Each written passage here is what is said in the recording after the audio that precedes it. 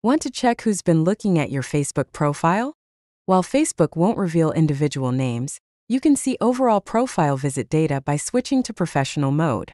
First, open the Facebook app and tap your profile icon at the bottom right. Then tap the three dot menu next to your name. If you see Turn on Professional Mode, tap it. If it says Turn Professional Mode off, you're already in the right mode. Return to your profile and tap Professional Dashboard. At the top of the dashboard, tap Insights, then choose Profile Visits. You'll see total visit counts, trends over time, and demographic breakdowns of your audience and followers.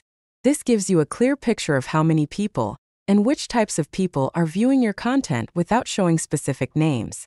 That's all it takes to unlock Facebook's built in analytics on who's checking out your profile. If this tip helped you, tap like, share your favorite hidden Facebook trick in the comments, and subscribe for more quick social media tutorials.